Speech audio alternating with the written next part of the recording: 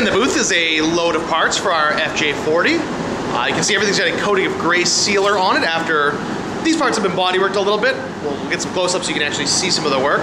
But this is DP, it's actually DP40 and DP90 mixed to make this gray. It's the white and the black, mixed 50-50. But you can see it's a pretty good looking door now. You can see, see if, if, you can see the rings right there. This is the different levels of bodywork that were done on it. Uh, we're sealing it up now with the epoxy for corrosion resistance. Then we'll probably put three coats of high build primer surfacer over this to sand it down for the final finish before we paint it probably in the next day or so.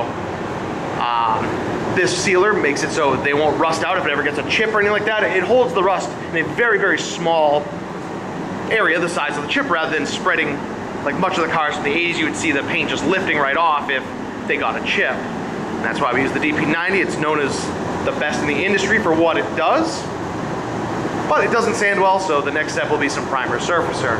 So you've got our grill here, looks to be in good shape. We got a little ding there we're gonna take care of before we move any more forward on that. Plus our rear saloon doors that were repaired. You can see the transition layers there, two of different layers of plastic filler. The primer surfacer will, will go over that, we'll sand that, and that'll give it a nice smooth surface.